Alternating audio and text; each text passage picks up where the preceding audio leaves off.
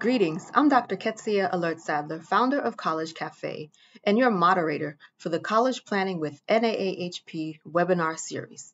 The National Alliance for the Advancement of Haitian Professionals and College Cafe welcome you to 2024. Hope it has been a great start for you, and we're looking forward to being part of your college planning search and everything that goes along with it.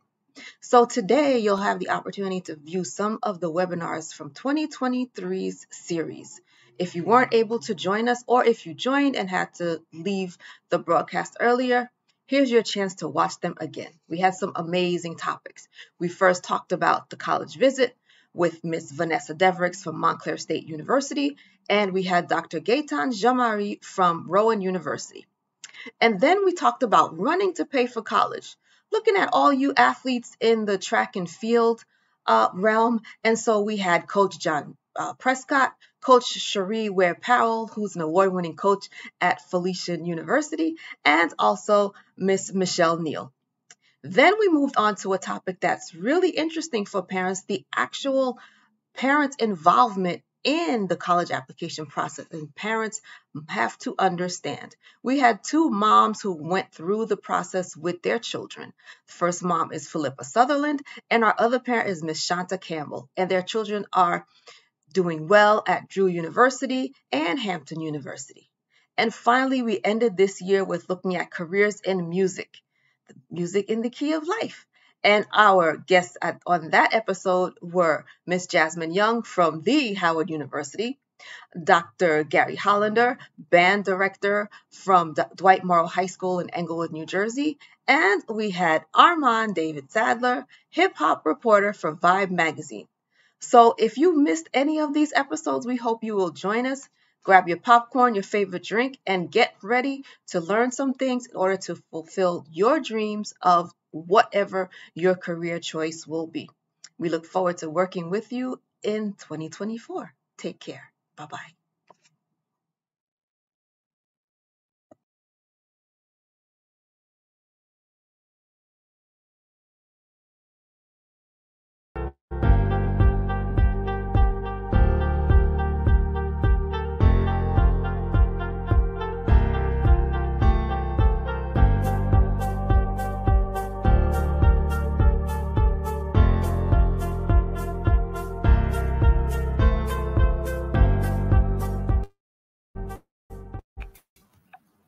Greetings and welcome to College Planning with the National Alliance for the Advancement of Haitian Professionals.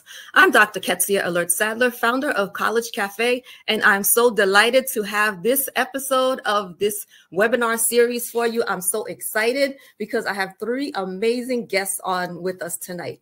But before we get started, let's thank our partners in this college planning series. First, want to thank the National Alliance for the Advancement of Haitian Professionals, of course, for providing us this opportunity to share information with you, our students, families, and whoever is listening to us in the World Wide Web. Next, we have Parent Matters and Golden V, and finally, College Cafe. So thank you everyone for joining us and tuning into today's episode, which is planning for that key of life.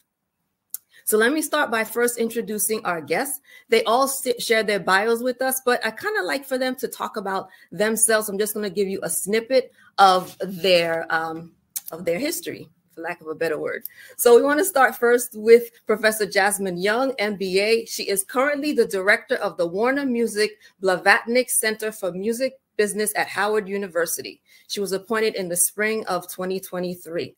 She was award, awarded a master's degree in business administration, innovation, and entrepreneurship from Felician University and a Bachelor of Arts in communication from Howard University. So I know she's very excited to be back at her alma mater working and teaching. Our next guest is Dr. Gary Hollander, who is currently teaching music at the in the Englewood Public School District. He's been there since 2005. He's the adjunct band director at Monroe College since 2017. Uh, Dr. Hollander received a BM in trombone, Bachelor of Music, I'm guessing, Dr. Hollander, in trombone performance from the Peabody Conservatory of the Johns Hopkins University, a MM, uh, Master of Music from Illinois State University, and his Doctor of Musical Arts from the University of Illinois Urbana-Champaign. He also teaches at um, Monroe, Uni Monroe College as well. Um, which I just said.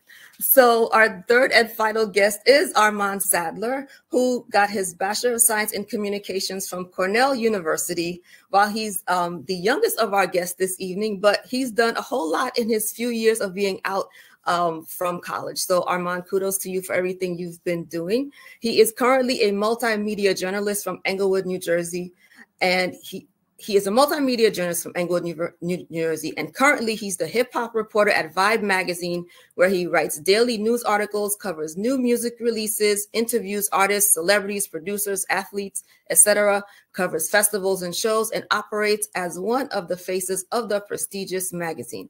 Thank you so much for joining me and sharing your experiences with our audience. I think this topic is very exciting because we've got so many students who want to become musicians or whatever, but I don't think they sometimes understand what's going on behind the scenes and where your love of music can take you. So today I really am thankful that you all are here to share on your journeys from from being whether you want to talk about your young years, whether you enjoyed music, if it's what you want to do. But I really want our audience to walk away with as much information as possible to say, wow, there's so much I can do in this um in in this music um career industry however you want to call it. So I want you each to start out, like I said, give us a two minute Cliff Notes version of your journey, starting from like going into college and how you ended up where you are now. So let's start with Professor Young. Good afternoon and blessings. Thank you so much for having me, guys. Um, I am Professor Young. Um, I am the director of the Warner Music Blavatnik Center for Music Business on the amazing campus of Howard University. Um, I got my start in the music industry actually here on Howard University's campus. I was this little black girl from South Jamaica, Queens, and wanted to get in the music industry. But back then, there weren't any role models or any, you know, high-end mentors or mentorships for people like me, and I had to figure out my way. Um, so I guess towards my junior and senior year, I landed a highly coveted, well, I'm realizing that it's highly coveted nowadays, but it was an internship at Def Jam Records that led to a, a job that led to me finding my niche, which was marketing, which is marketing. Um, I was fortunate enough to work on uh, many of the hip hop iconic albums that we didn't know were going to be iconic then. So people like Jay-Z and DMX and Foxy Brown all had amazing stories in my in my trajectory. Um, years later, I worked at the Source magazine, and then uh, a friend of mine said, "Hey, you should be teaching," and I'm like, "Really?" Um, the long story short is that I became a professor. I taught at uh, Metropolitan College of New York um, for about a couple of years, and there graduate school media program. And then coincidentally, um, I was the administrative professor at Monroe College for the last decade. Um, in 2022, a gentleman who used to be my intern called me and said that he had an amazing idea of, you know, for a center at Howard University Incidentally, he is the only Black head of business and legal affairs for a record label in the world. Um, and he got a gift for us to start and grow this amazing center here on the campus of Howard University. And it's really designed to, you know, empower, educate, excite students to become social justice warriors in the music business. Thank you, Professor Young. Let's let's go to Dr. Hollander. Tell us about your journey. Uh, good evening, and thanks for having me. Um, my journey was uh, I was primarily classically uh, trained to be performance tracked and um, went through the conservatory route and then ended up in the Midwest. And I was doing all the regional orchestras and you know further pursued my DMA. and then um, I got my uh, basically a, a, sabbatical replacement at Illinois State University, which was where I did my master's, and it was my dream job. And after my year there, they offered me a job, and um, I don't know, my my mentor at the time just said, you know, you really need to go teach, like, and not college. You need to go influence young lives. So um, I said, okay, and he said, go back east. so literally uh, that's what I did. I just uh, sent some resumes out, and um, basically the um, I sent out my resumes, and the first school to call, I, that's where I was going. I just didn't have a preference and uh, just followed a light. and uh, so I've been in Englewood for almost 20 years now. And then, um, and for the in the college, just kind of found my lap as well, which uh, at Monroe, which has been, they said, you want to build a band. And so I said, that sounds fantastic. So, um, and then through that journey, I've been just helping my students find, navigate their ways and finding different careers in music. Um, and they were able to explore that through uh, when we were actually um, in, virtual learning. Actually, um, you know, you can't do much with band over online, so we brought in people that were all um, venues of music in the arts coming in and talk about their careers and what they did, and expose students that you just don't have to perform that you can be in music business you can do music supervisor roles. So um, you know so that's been my journey is just you know pushing forward the, the hands of uh, music education amongst our, our young students. Yes i like that and I, um, i've been part of that journey with uh, helping chaperone those trips. That was pretty awesome. And Armon, Mr. Sadler had an opportunity to go on one of those trips with you as well. So that was amazing. Um, so, Mr. Sadler, tell us about your journey.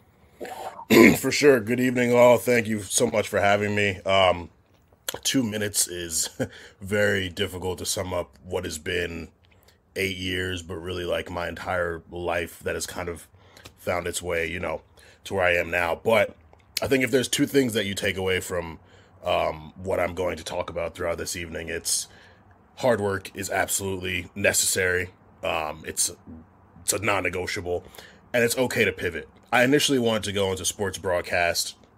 I had some rejections there, and I thought about what my other passions were. And throughout my life, whether it's been being in the church choir or rapping with my cousins or watching music videos, I've always loved music and I never pictured it as something that I could work in, but I had the tools and the abilities to turn it into something that I can make into a career. So I actually, funny enough, similar to um, Professor Professor Young, I interned at the Source magazine in summer 2017. That really got the ball rolling for me. Um, I've freelanced for years. Freelancing is where you write for publications, but you're not officially part of their staff. You do uh, one-off articles for them. So I was able to freelance for Billboard magazine, Pitchfork, Hip Hop DX, Consequence of Sound, a lot of different places that ultimately ended me up at uh, Vibe magazine, where I've been for um, almost a year and a half. But yeah, over the course of that, I've had definitely had a lot of ups and downs. Working in music is very fun. It's a lot of cool opportunities, but the music industry is also very, very difficult, uh, very political. Um, it, has got its highs and lows, but um, I've learned a lot. I've made a lot of great connections, uh, and I think it's also shown the power of networking. I think there are a lot of talented people who sometimes fall by the wayside because they don't put their themselves out enough, uh, out there enough. And there are some people who get very far, even if they're not the most talented, because they're very good at networking and building connections. Um, so I think you know, just through my hard work and through my um, desire to network and put myself out there, I've been able to get to where I'm at now. Um, but yeah, definitely been a very um, involved journey. Is is what I say? Very involved. Um, and yeah, I'm definitely looking forward to kind of getting into more detail and offering any insight that I can to all of you. Thank you so much. Be before we start with the questions, Dr. Hollander, can you explain um, klezmer? Yeah. Um, so um, almost like a Eastern European Jewish um, uh, style music. It's old school. It's it's uh, yeah. It's um, man back in early days, back in like Rush, like early Russia and all that. It's klezmer music. So okay, thank you. So let let's start off um, with a first question. So if you look back on your journey so far, what do you think was the most challenging part for you? And anyone can jump in. Uh, yeah, I'm, I'm open to start. Um, so similar to what I said in my intro, I was freelancing for a while, and the difficulty that comes in freelancing is you're not on a salary. You're not getting paid bi-weekly or semi-monthly. Like there's something called net 30 or net 60 within the music industry where so let's say I put an article out this month, it's November.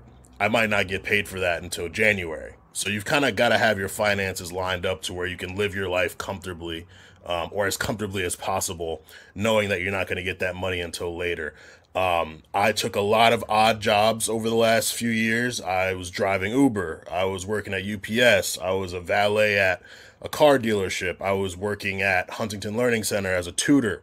Um, and it, it got difficult at times because I knew I wanted to be doing this music thing full time, but I also had student loans to pay off and credit card debts to pay. And like, you know, you have to take care of your life. So, you know, I, the biggest thing I tell people is not to get so caught up in, in the glamour of the music industry, especially when you're not one of the rappers or the artists. Like when, when you're a journalist or whatever the role is, like you're not, you're not, you know, wearing the chains and driving the Maseratis and on red carpets or wearing the suits. You're the person telling those people's stories and you're honestly making significantly less money than them. So, I definitely encourage everyone to, you know, think about skills and talents that you have that you can make money off of while pursuing what you dream to do until what you dream to do is what you can do full time. So, just to summarize, I think just figuring out the financial aspect of my life while dream chasing was my biggest challenge. Thank you. I can jump in there. Um, some of the sentiments I can echo um, with Armon. This music industry is, you know, has taught me that it's definitely about hard work, and you know, very few people have, you know, an entire um, crescendo, I call it, or you know, you have to make sure that you, for me, being in this music industry for 30 years, having to remain relevant, having to constantly reinvent myself, having to continue to learn, having, you know, to continue to make sure that you keep the relationships, right? And I always say that this music industry presents, um, you know, the relationships are way more important than money.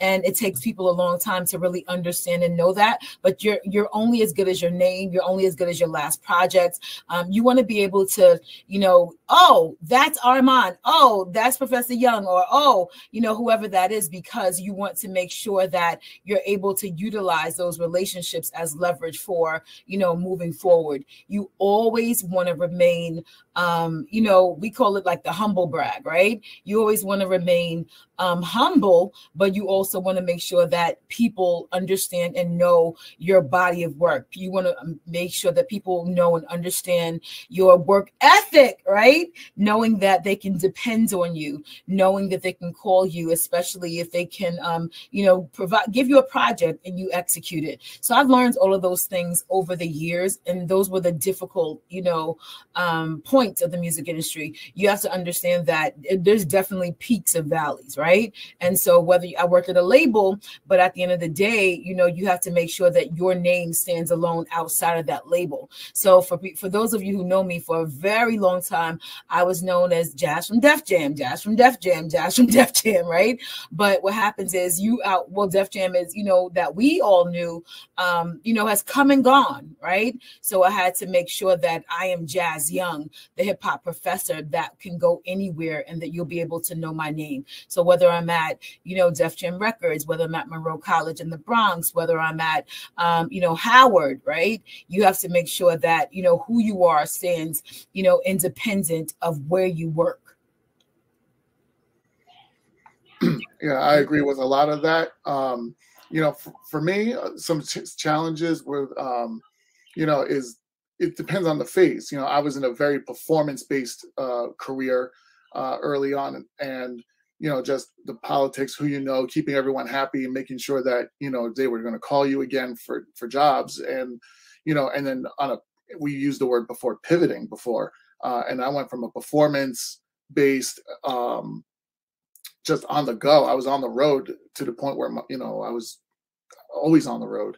And then I became all of a sudden a teacher, in, you know, here and I stayed put. and there was a transition. And it just, um, you know, I lost all that, you know, as an adjustment from performance. Then I had to do what I did naturally and teach it to students and, do, you know, explaining that.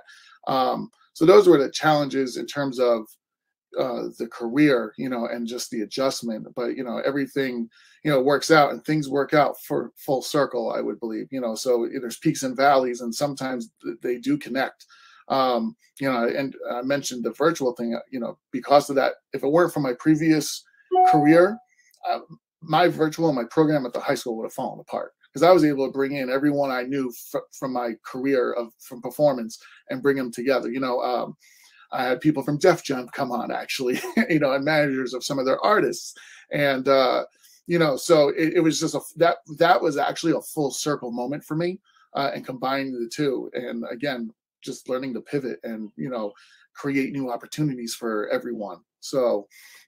um, so as I said, you know, not the cheap rambling, but you know, the, the challenges is different for everyone, and um, you know, so uh, what came easy to some is not easy for others. So um, yeah, so I would keep it at that. okay, thank you. So let, us let's talk about the students. Um, two of you are directly working with students. Armon, I know you have sometimes gone and talked to students. So you got a group of students in front of you who say, I want to do what you do. What are you saying to those kids? What what what piece of advice would you start off with and what pitfalls would they avoid? I know that that's a loaded question. So let, let's let's start the kids in front of you. What are you telling them about their academics? What in your academic journeys do you see as having helped you get to where you are? And then, you know, we'll take it from there so for me um, you know there's two different paths right there's academia and then there's the music industry right so meeting for me um, I, I want to say that my professional career will meet at the intersection, right? Um, the hip hop professor, or you know, this professor that teaches from the urban perspective. But students, I just encourage students to, you know, to follow their dreams and let them know that they can do anything, that this is obtainable. Um, that's the one great thing that I love about this program that um, we've designed, and I am, you know, pushing through here at Howard University is that you you're meeting these students at their needs. So some of them come in, you know, laser focused and knowing exactly what they want to do. Some may work want to work A and R. Some may want to be booking agents. Some may want to be marketing executives, right? However, some just like I'm just enthralled with the music industry. What can I do, right? And so the the beauty of my job and what I pride myself on is meeting these students at their needs. I'm helping them to uncover and establish a goal for themselves, right? And I always tell them you don't have to do one thing for a million years, right? You can you can change, you can learn, you can grow, and you may do, you know, three things, you may do five things, you may want to be a doctor and a lawyer. You can do all of those things, right? So empowering them and giving them courage to do so, but also helping them to find out exactly what they want to do and then encouraging them and giving them the tools that they need. So I would tell the student, you know, the sky's the limit continue to kick down doors. The sky's the limit, you know, continue to break down, you know, break through these glass ceilings that still exists for people like you and me, you know, in this music industry. So what do we do? We help each other, we give each other opportunity, but also helping them to understand the dynamics so that they can navigate and grow in this music industry. Okay. Thank you. Um, yeah, my biggest piece of advice would be so kind of how I describe my job is I do fun homework for a living. I'm writing research papers on artists and on producers and on celebrities. So if you really pay attention and are doing what you need to do in the classroom, it's an easy transition. You might not like that research paper you had to write on some random Greek god, but when you get to write about Drake or Bad Bunny or Metro Boomin or whoever, you'll apply yourself more because you like their music, you like who they are, and so it's a very easy transition there. Um, so I would say like the, the, the soft and hard skills that I developed throughout school, especially in college, um, have translated very easily. When I'm writing, I have a very I'm able to use a diverse vocabulary. I know how to use punctuation. Like small things like that ultimately really help help the process because it's it's one thing to like the music and describe it and be able to say it's fire. It's another thing to really put together something where people are reading that and they're like, "You taught me a word I don't know," or "Wow, like the, the way you use syntax was incredible," like s- stuff like that. So, um, definitely applying those soft and hard skills, but most importantly, like just at the ground level with journalism, most people don't land bylines at Vibe magazine or Billboard magazine or Pitchfork early on. So you kind of have to be okay taking it step by step. Start your own blog. I tell a lot of people to do that. A lot of people have successfully done that and been able to apply the things that they've learned in school to, you know, um, running their own blog or even taking like lower level mid tier type of bylines at different publications and blogs before you before you get those those bigger ones. So yeah, I would say like the specifically with my career, the the knowledge I gained through just writing papers, especially as a communication major. I wrote a lot of papers in college, um, and then also unfortunately, unfortunately, or if you're okay with it, being a little patient too. Yeah, I tell my students, you know, I get to see them go off to college, and I always tell them, you know, if they're going to go into music, you know, be open mind because you might get, you know, caught into another channel of music, and that's okay. Um, you know, you might f- think because band was fun in high school, and then all of a sudden you go to college and you focus in, and you realize you may not, you know, that may not be the case. Um, but there are other avenues of music they can go down, and so I always tell them keep your eyes open and you know um, be aware of other avenues that you can explore so and it's and it's okay you're not a failure so um, i do tell them that eh, you know and a lot of times that it does happen that way so um, you know and i stay in contact with them and you know as a as a teacher should and make sure that they are you know the guy they're getting proper guidance and from someone who knows them you know for more than just their college years. So uh, but that's my you know that's usually my advice to them is you know keep an open open door to things. Okay thank you. So for each of you in the current career that you are now how did you know that this was the place for you? Are you looking to go further or just kind of stay where do you see yourself five ten years from now uh, i'll go first um, if you don't mind um, i know it because i love it uh, it's every day. I don't call out sick. I mean, I go in every day, and it's how far can I go? You know, and in terms of how far can I push the students, and what can I, what experience can I offer to students this year? You know, that they haven't gotten before and they may never get. So, uh, and that becomes a game to me. What can what can I do uh, to offer our students that no other school is offering our students? And um, you know, so, so, from that aspect, um, that's what I love. It's fun. I have a good rapport with the students, which makes it more enjoyable. Uh, you know, and so and just it's kind of like they always say, being a teacher, usually you're stuck in like you're frozen in time. So you're always dealing, you know, you're always dealing with 14 to 18 year olds, and I'm getting older, but they're not. so, um, you know, so that's my favorite part of that. You know, is uh, how far you know I can push them, and what can we experience together. Uh, five to 10 years from now, I don't know. We're doing things that I thought we'd never do. So, um, you know, I, I, have a little checklist of things I like to do, but you know, uh, I don't know, 10 years, I don't know, retired. No. so anyway, so that's that. So I thought I'd just go first on that one because it is exciting to be, uh, it's a lot of fun for me. Yeah, I, I see you enjoying the kids, um, taking them to play at different um, games, you know, the opening for baseball and different NBA and things like that. So definitely opportunities they probably would not have had. Um, when I talk about our high school and district, I always say, look, our band director takes the kids on college tours. How many band directors in high school do that? I don't know, maybe others do, but I know Englewood, Dwight Morrow High School, their band director does that. So kudos to you. Um, um, five to ten years. It's it's funny too. I was asked this question the other day, and I sat and realized that I haven't necessarily plotted out what my next five to 10 years are because where I'm at now, I was chasing it for so long that the last year I've really spent enjoying it. Like it's it's truly a privilege what I get to do. I've had jobs where I wake up, I look at my phone and I'm like I have to go into this thing, but every Tuesday through Thursday, because I, I, have a hybrid schedule, so I work from home Mondays, Fridays. Every Tuesday through Thursday, I wake up excited to go into uh, my my job and write my daily news articles and figure out different events that I can go to. Um, so I've I've I've really spent the last year just kind of soaking in all of the hard work that I put in and working hard where I'm at too.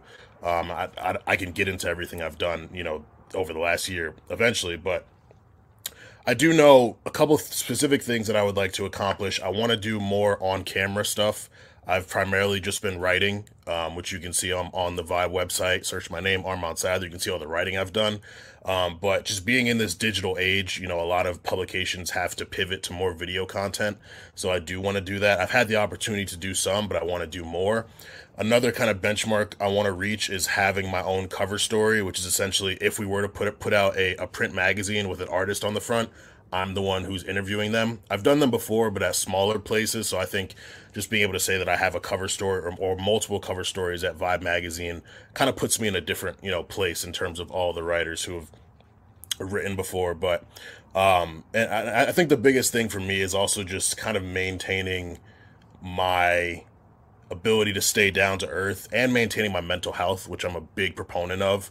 The music industry is very fun. It can be very consuming. I find myself in New York City on days where I'm working from home and not planning to go in at all because there are fun events to go to and, you know, trying to really get better at saying no and taking time for myself. Um, so I think that's really just the biggest thing is maintaining, you know, the balance that I've kind of strived to have uh, within life because it's it's very tough. Like it, like I said, it's a privilege. There's so many fun things that you can do, things that you might not have ever imagined that you would be invited to, you get to do. And so that's been the last year for me. And um, yeah, I'm just looking to continue that, but also make sure that I prioritize Armon over, you know, putting Armon out there and putting Vibe out there. I love the self care. I love that. And especially since you are super young and you have so much living to do, right? Um, I love that. And that's a part of my five years as well. Just, you know, I keep saying, you know, sending myself these little notes. It's okay, Jazz, to relax. It's okay to take a day off. But, you know, I'm always focused on the win, right? And sometimes people will say that's to my detriment, um, or you know, that's to my you know positive. But either way, you know, the goal is always going to be success, right? So uh, for me, I guess the next five years and making sure, yes, self care, right?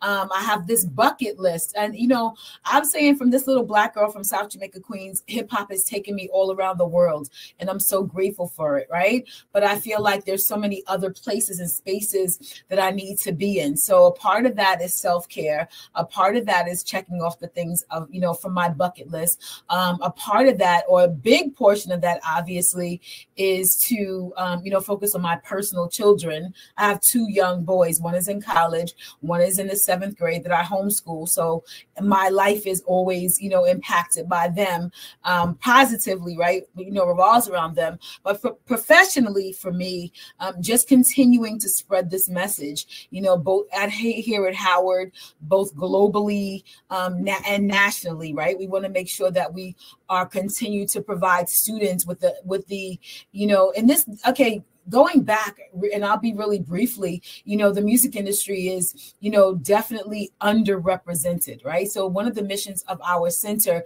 is that the music industry has failed black and brown students right? Period right? We failed you know the black and brown performer. How do we work as a collective to make sure we change those things? So those are one of the pillars that my center is built on. And i just want to continue to be able to share that message so that you know the world continues to um, provide, right? So give back to our students and make sure that they have the correct platforms that they need in order to grow. So I want to continue to share this message nationally and then globally so that we can continue to help students and really create and grow change makers, um, really create and grow um, social justice warriors in real time and making sure that they understand that they have to come back, right? And give back to the next generation. So my next five years will, you know, encompass all of those bits and pieces.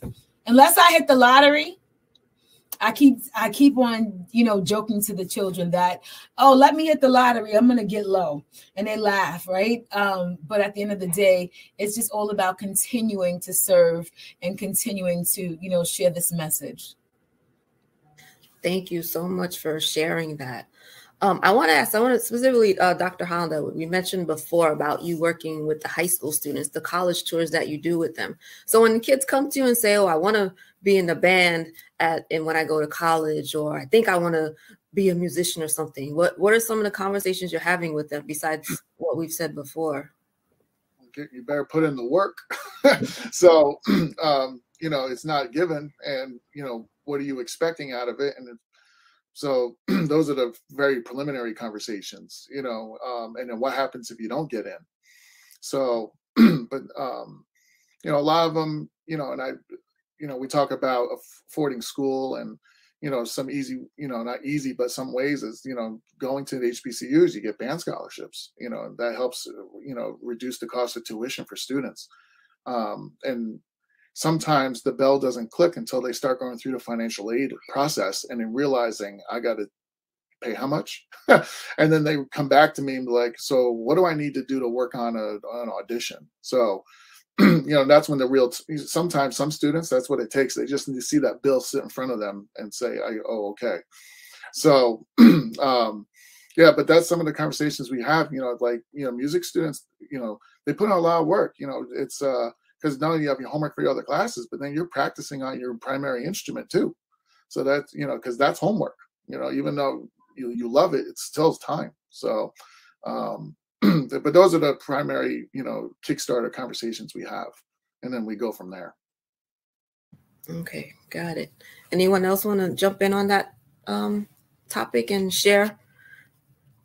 Professor Young, what do you say to your incoming freshmen, or or when kids come and do the tours on campus and say, "Oh, I think I want to come to the Blavat." I keep forget pronouncing that incorrectly. Music Blavatnik. It's definitely a mouthful. Um, and so we are a new center, and I'm just so excited that a lot of students are hearing about the center and saying that they came to Howard just for the center. And I'm like, oh my God, this is beautiful, but then it's still, you know, the start of the work. And I just share um, the same thing. I just say it's time to work, right?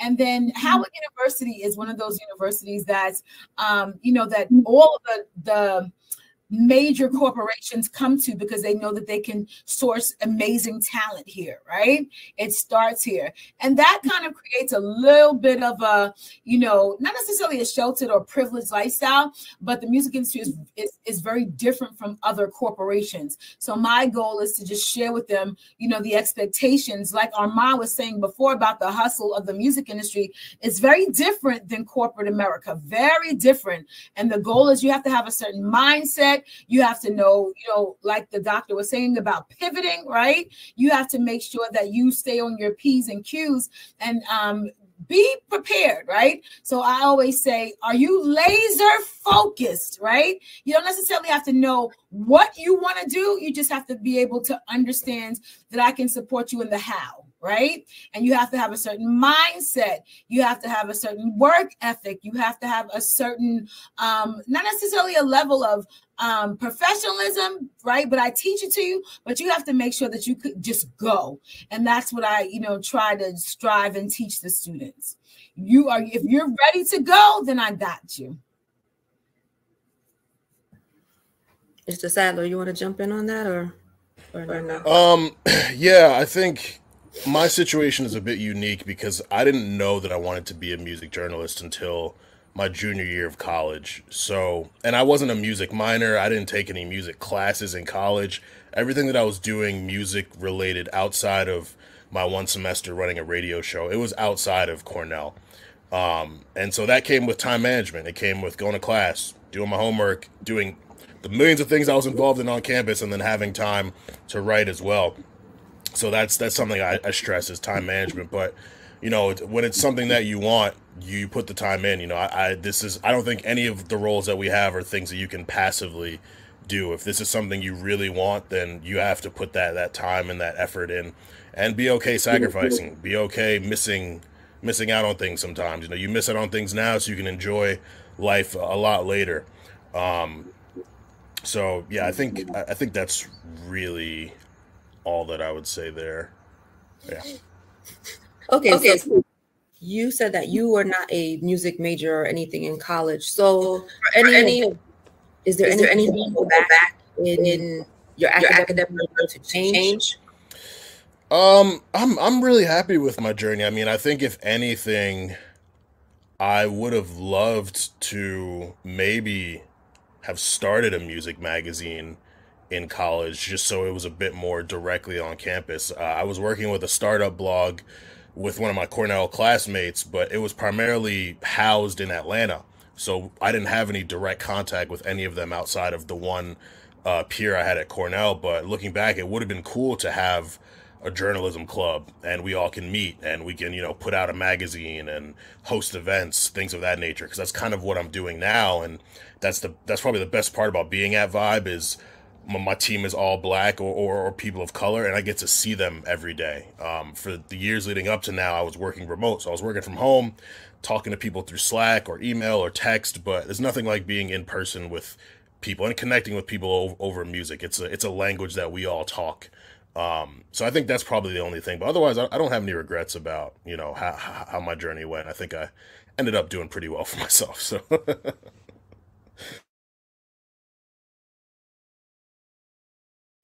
Professor Young, Dr. Hollander, anything you in your academic journey that you might change looking back, or anything you would have done in addition to what you're doing now, or in addition to what you did? You can go, Dr. Hollander, then I'll follow up. I don't. I mean, I, I don't know if I would have done anything different, uh, or else I wouldn't have been. I'm not where I would not be where I am today. Mm-hmm. So, um, I mean, I have quite the past, you know. So, and I don't regret any of it, you know. Um, I don't know. Yeah, I mean, not to be boring about it, but you know, there's nothing I probably would have changed. There is, uh, if if anything, if I had to pick one, and you're saying, you know, Dr. Sadler, you said no, you must pick one thing.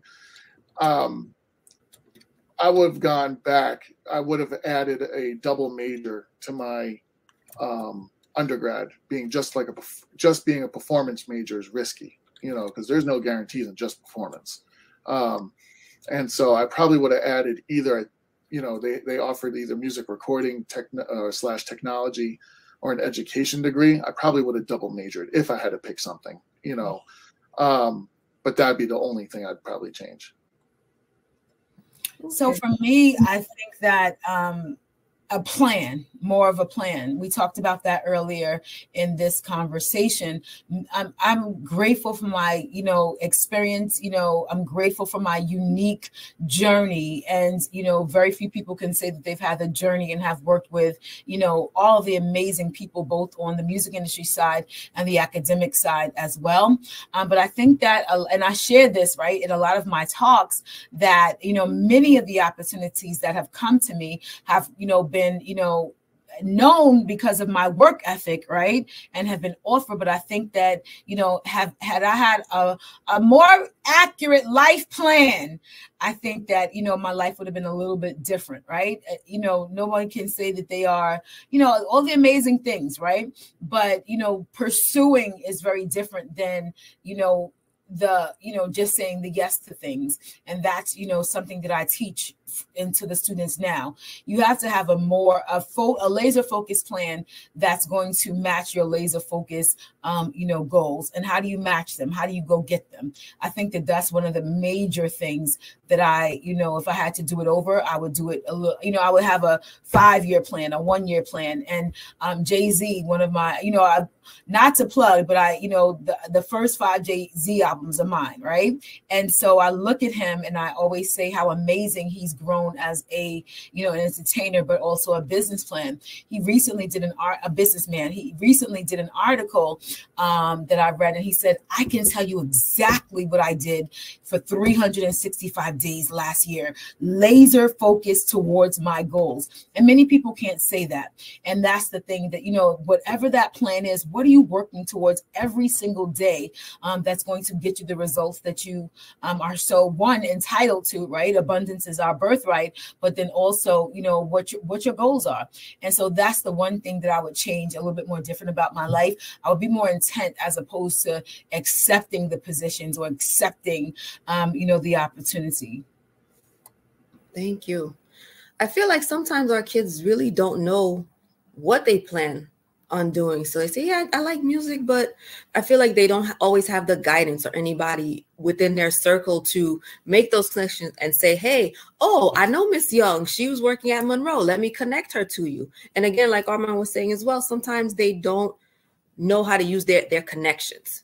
they don't understand how to network which is which it's almost a skill really you have to if, if you're a shy person you how do you walk into a room where you know anyone and walk up to them and say hi my name's ketsia you're not going to do that so it's just a matter of helping train our children and putting them in the right um, spaces for them so we've kind of talked touched some of the questions that i had sent out in our packet so i'm going to go to some of the Q&A questions from the audience. So we talked touched on it a little bit before, but what advice would you give to someone who feels that they are putting in the work, which we've mentioned, but it feels like the person who has more connections um, are, are advancing and being given more opportunities?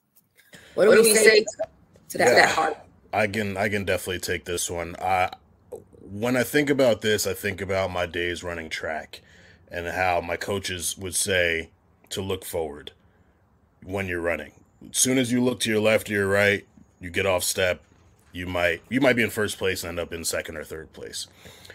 Um, so that's kind of how I've approached my journey. And there were moments where I was very insecure, and I, I would have my friends who were also journalists who would be doing huge things, and I was waiting for my moment. But you really have to do your best to not compare yourself because everyone's journey is different, and it's not a competition. There is inherent competition in music you know, she's been talking about Jay Z. Jay Z and Nas were competing against one another throughout their career, but they both were massively successful in different ways, but massively successful. And it's a similar thing in journalism. There are so many more opportunities out here than people realize. But you won't know that if you're looking at what someone else does and just wanting what what they want to do. So my thing was always, am I the best version of myself? Am I the best writer? So I just focused on being the best that I could be, improving, constantly improving. Um, and I was able to achieve some things over the years that some of my friends who I would look at and I wanted to do what they did, they haven't been able to do. And they would tell me, "Yo, it's so cool! You got to write for Pitchfork. Like, I would, I would love to do that. Or you got to write here. That would have been so cool." So, it, it, it's it's so important to not compare yourself. It, it can be tough. Um, I know that I've I'm definitely a very prideful person, and I've had moments where I, will look at what someone does, and I'm like, I, I could have done that better. But you know, it's it's not your time, and it's not always going to be your time, and that's something that you really have to be okay with because when it is your time, that just means you step up to the plate and you have to hit it out the park. But it's just not always your at bat. You know, you you have to wait some time. So yeah, I, I would say just any moment where you see someone achieve something and you get down on yourself, use that as fuel to get better.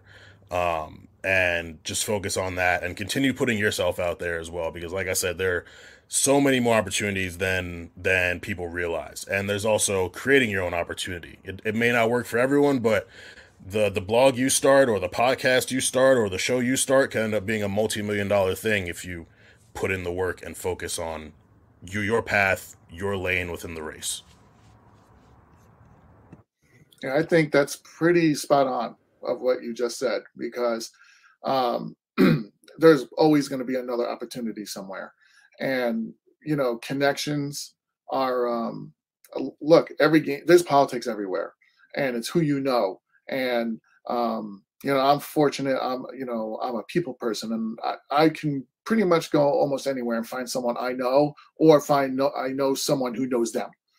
And, and that's, you know, especially when I was freelancing, that's how you got your jobs you know, because they knew you or knew of you. So, um, and if you stay on t- on target to your goals and your career path, those opportunities will occur uh, because the more you get out there, the more people get to know you.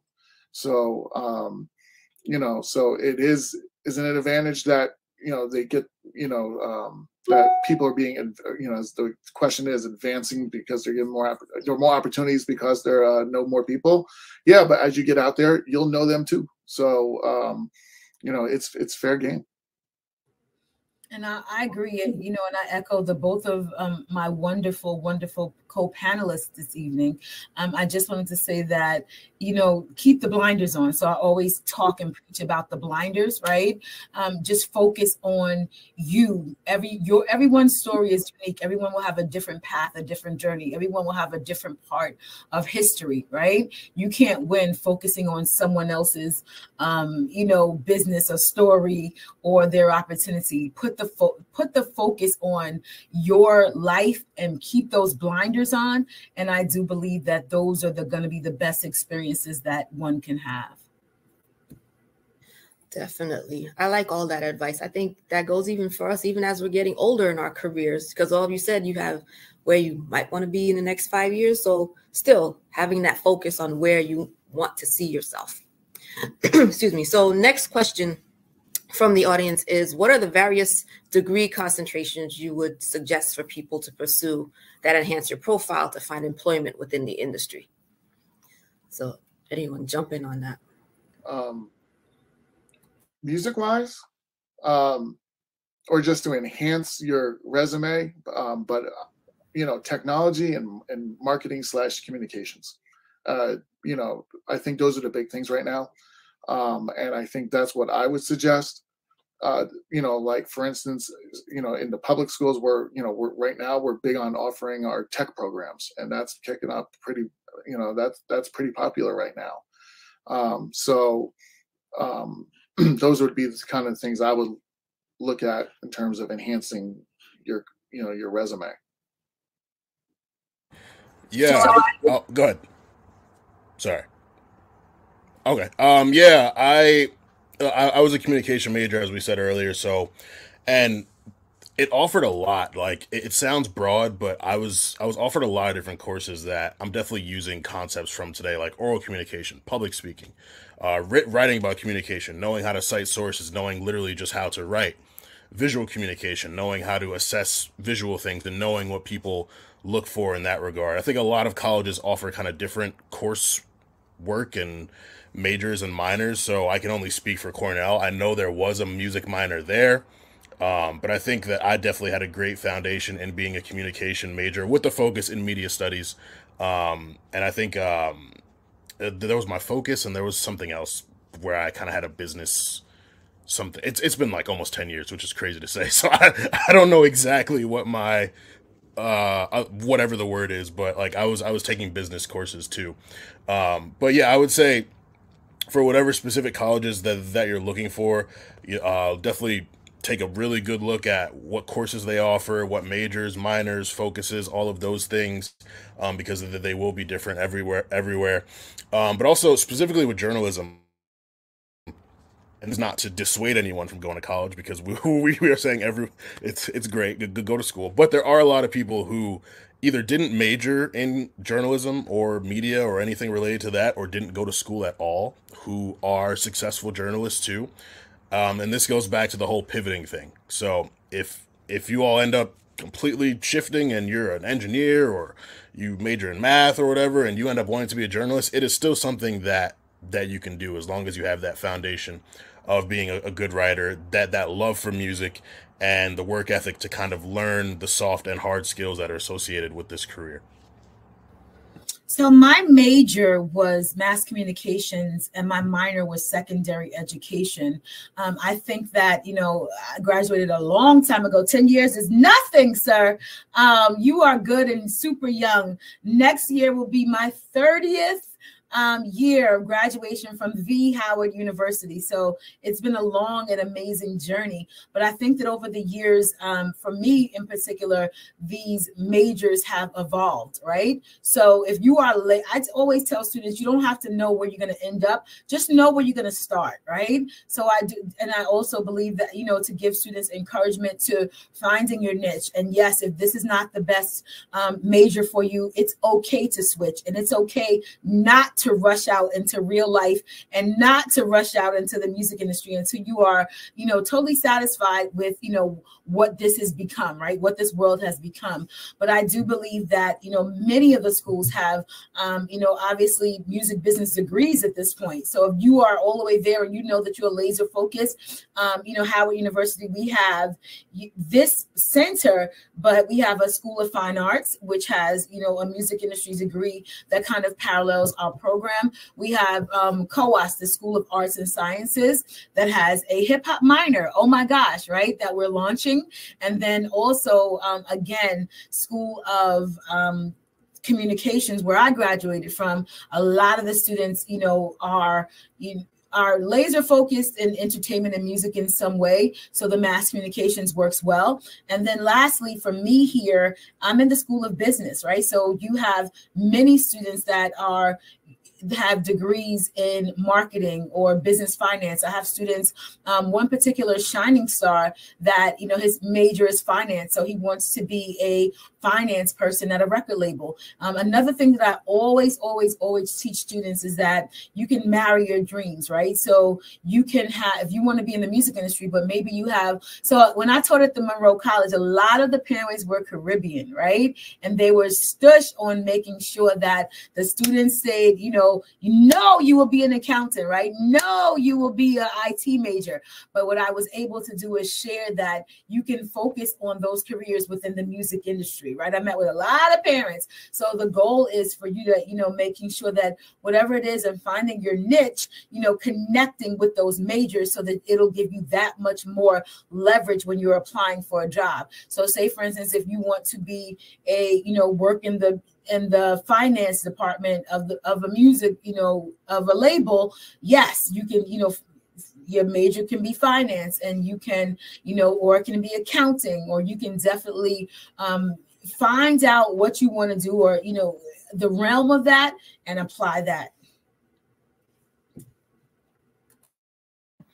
Thank you. Because I, I think that that's a good point that you raised was that, yes, a lot of families see um, accounting as okay, you need to go and work in the bank, but you like your music. So it's a win win to be doing what your parents want you to do, which is be an accountant, but yet you're also in that music world where you know music makes the world go round for you. So I, I think that's that's what our students need to hear that traditional careers don't have to be in a traditional environment. You mm. can take it outside of that traditional world.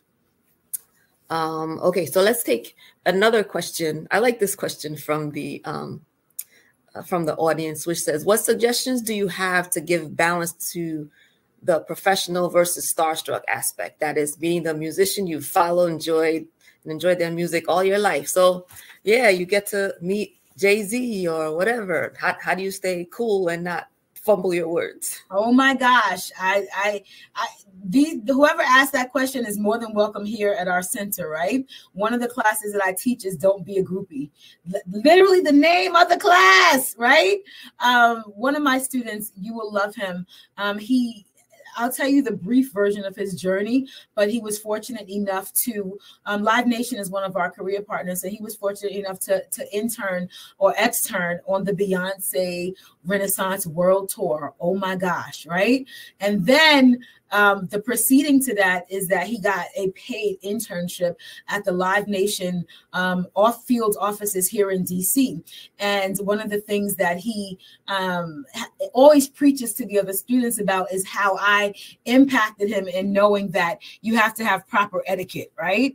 Um, you have to, if, if this is your job, then you can't be starstruck. So you have to make sure that you stay professional, um, that you have certain etiquette and, and respectful so that people will ask you back, right? Because if you are a groupie or if you ask for autographs, or I've had some women and men that have literally thrown themselves, right, at artists, right? I hope this is um age appropriate, right? Um, respectfully to the parents that are on here, but definitely be able to, you know, so that you'll know, so that you can let your student know, right?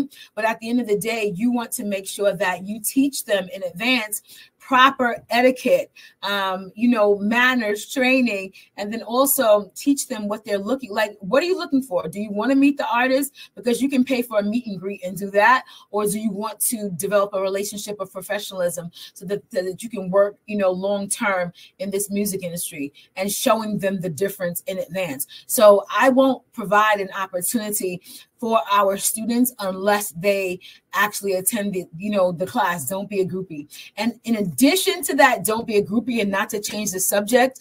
Um, you teach them, obviously, you know, simple etiquette. You have to teach a lot of the students is, you know, people are shocked, but you have to teach a lot of the students personal hygiene, right? Um, you know, what to wear, right? And and respectfully and humbly. And if we are you know a part of a team or part of a culture it's you know there's no shame in that. Some you know everyone wasn't raised the same way. So you have to sometimes we call it going back to the basics. You know you have to shower. You have to dress accordingly. Um, you have to wear undergarments right? Um, if you don't have deodorant please come come ask me for it. I'm here to support you. But back to the question you have to make sure that you represent yourself all the way up here on the professional level so that people can look at you in that way yeah, I I 100% agree. Um, my job is literally to tell their stories and also to critique them. Like journalists are critics, so sometimes we have to write negative things about these people. And so I've definitely had the great opportunity to interview, meet a bunch of artists that I am fans of, but if I let my fandom get in the way of my role as a journalist, then the story might end up being bad. The interview might end up being bad. Um, so I have to set all of that aside and remember what I'm there for. Do the job. It's natural. Um, you know, as humans, we get excited, and that's okay. You should get excited about the things that you do, but you ultimately have have a job to do. Um, so I, I can't at this point. I don't really get too too starstruck, honestly. If, and if I do have those feelings, I use it to my advantage. If it's someone who I am a fan of, that means I probably know them better. I know what they like, and it makes the conversation even better. So there's ways to kind of flip those feelings into something that can work to your advantage based off of what you do in those specific roles. Um, so yeah, I would say you know just you got to have a lot of conversations with yourself going into it, and remind yourself that you're there as a journalist or as a photographer or as a videographer, and not as someone who's attending a meet and greet, as Dr. Young said. yeah, there's um, and just another aspect I tell my students when you know they meet some uh, celebrities, you know, and sometimes not always just uh, musicians in the field. So like when we play, uh, we get contracted out by ESPN sometimes for these basketball tournaments. Some of the NBA players come to to their um, support their you know their their alma mater. So you know they see these players, and I remind them they're people, just they're people so you treat them like people, and they're just, you know, they just happen to make more money than you. so, uh, and they have more spotlight on them. And so, um, you know, and it goes a long way. So we were doing one um, event and we ran into three celebrities and they were able to, they, you know, they behaved. I reminded them, hey, listen, just they're people, just say hello. And they took pictures with our group, you know, um, no one else, you know, so, you know, just asked them nicely and so that was that and so uh, and i re- remind them of that you know and also you know and my, my famous one for me uh, i've met a couple musicians uh, and i met a big uh, direct movie director once had a half hour conversation with director director um, we were at honest this is true story i was 20 years old and I won't tell the whole thing, but I was I was you know we talked about another majors, but I actually through college I worked in a sales department at a hotel, so um, and so anyway, you know I, I met some famous people. So uh, but I'm bad with celebrities. I don't know who's who. So anyway, I was talking to this movie director for a half hour, and this that and the other. We're just talking, and I said, "So what do you do for a living?" And he looked at me like oh, I'm in the film industry. And I said, oh, okay. So like what part? Like you direct, you do this, you do that. And he's like, you have no idea who I am, do you? I said, not a clue. And, uh, and, you know, and then he's like, wow, it's, this is a real conversation, you know, and it's been a while since I've had a real conversation. And he said that. Uh, and I can't tell you how many times I had that conversation with different people that I just don't know who they are. Um, and they, they enjoy it. So, you know, the starstruck thing, you're like, oh, you think it's head back, like, oh, that's you, okay, whatever. But you know, it, that's the end of it, you know. And I tell that story to my students and just remind them they're just people. They they want normalcy too. So, um, so that'd be my suggestion. Just remember that, you know, and that that keeps the balance. And also, the more you get involved with your career path, the more that becomes normalcy. Is seeing, you know, if you advance more, you see more of these famous people, uh, and then long and behold, you become known. You may not be famous, but you're known. So anyway, so that that would be you know the balance there in terms of just it, they're they're just people. Thank you for sharing that. And and and a lot of what you're saying is just some some basic information that even some other adults need to have as well and information they can continue on through their trajectory from student to becoming a professional in whatever their career might be. So I feel like we've covered all the questions that I had. So what anything else burning information that we haven't talked about yet that you want to share with with our students as far as what they need to do as far as in, in high school, Doc Hollander, you're with you with the, the young ones. You even have middle schoolers. And I always say also that um, because band starts in my school, which is a third to fifth grade school, I say if you start band early, then by the time you get to middle school, you know Dr. Hollander, and then you get to high school, bam, bam, you good. You got that relationship going. So anything else you guys want to um, talk about that we can share with with the students as far as the academic piece or any other things that they should do to enhance and or strengthen their the areas that they want to go into or that they don't even realize really quickly um, and it may sound cliche but you know students especially um, junior high and and high school students need to understand this. Do not let anyone dictate your dreams Go for what you want to do. Can't nobody live your life for you. Don't listen to any negative energy on your life and on your dreams. Stay focused. And the only thing that your parents or the world can ask of you is your best. If you do your best, there's nothing else, um, and you cannot fail. So I, I run into a lot of students that said, "Oh, you know, such and such said I can't do this," or you know, I don't think that I'm. Whatever you want to do, double up and go for it, right? Um, and don't take any negative um, comments, suggestions, um, any, you know, any support from the, the hater. Don't do it. Focus on what you want to do and when right? You'll always find somebody that understands your vision, always find someone that will support you. You will always find someone that will help you to get, will want to help you to get to point, you know, from point A to B. Um, I've met students, especially, you know, some of the schools that I've taught at, you know, they will get a, a bachelor's degree and then go back and work at the laundromat, right? Or go back and work at retail. And that's okay if that's what your heart's desire is, right? Go for, you know, something unfathomable. Go for something that you would never dream um, that you would able to accomplish.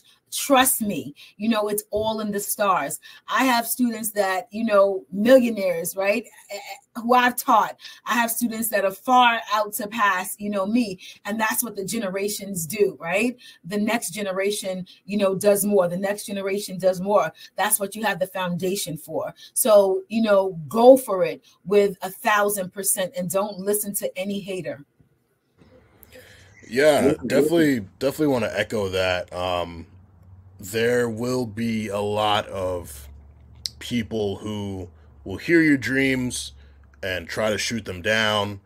Um, and then when you reach a certain point, some of those same people may come around and be like, "Oh, I always knew you could do it," or just supporting you out of nowhere, commenting on your Instagram, showing love, all this stuff. I've I've seen it. I, I don't really focus on it. I I ultimately really just show appreciation for it. But the reality is, people do want to support uh, they want to feel like they're supporting someone who's winning. And, you know, you don't start out winning at first, and that's okay. Definitely don't let that get into your head. Like I've said before, and like I'll continue to say, just focus on being the best version of you. And, you know, people will see all the big things that you do, whether it's a verified check on Instagram or interviewing this person or going to this place, and they'll focus on, on, on everything surface level. But find gratification in knowing that you have put in the work that you've put in you've overcame the things that you've overcome. And uh, similar to what uh, professor young said that the, there will be a circle of people who will support you. So just you know definitely focus on on the love that you receive. Dream chasing is a very can often feel very lonely um, but it, it, it feels so good when you do get to where you want to go. And it it also increases that hunger within you to find a new mountain to climb. Um, and so definitely just maintain that that desire to work hard um, be bold also. One thing I've done throughout my career is be very bold and courageous, whether it's sending a DM to a writer who I thought their work was good, or sending a DM to an editor who I want to work with, or when I go to these music industry events and I see someone I recognize in the music industry, talking to them, making sure they know me. Um, you know, we're, we're, we're in the generation now where people may not ca- carry business cards as much, but don't be afraid to give out your Instagram, take someone's Instagram, give out your your phone number if you're comfortable with that. Like it's it's such an advantageous generation we're in with social media. Like the power to connect with people is just so much more expansive. So use every avenue that you have to put yourself out there connect with people and also put your work out there too. Right. And, also i would say always you know be prepared and in terms of you you know expect the unexpected you never know when that phone call is coming you know ever uh, i i can't even count the amount of times i was not ready for something i got a phone call and you know um, i was i was literally out one night with my friends at a at a you know, I'll be blunt at a bar, and uh, I got a phone call, and they said, "Hey, we want you to go on tour to Iceland and Scotland for the next two weeks." I said, "When the?" I said, "Okay, great. When?" And they said, "We're leaving in six hours." And I said, uh, okay. And just get up and go. Um, you know, drastic, yes, but you never know when that's coming. Um, I have, you know, then I heard there was going to be an opening for a drumline spot at one of the NFL football teams, uh, the Indianapolis Colts. And I knew one of my students was out there. And I called him and I said, Hey, there's going to be an opening. You're going to go audition. He goes, hey, I've been busy. I haven't played in two weeks. I go, That's nice. Be ready. uh, and sure enough, he got the spot. You know, you never knew when you never know when that phone call is coming. So, um, you know, if anything, as I said, you always got to be on guard and be ready for whatever's coming your way. Either whatever field you're in, you know, you never know you have to go write a story or go perform somewhere. Um, but you know, it's uh, there, there's no slacking.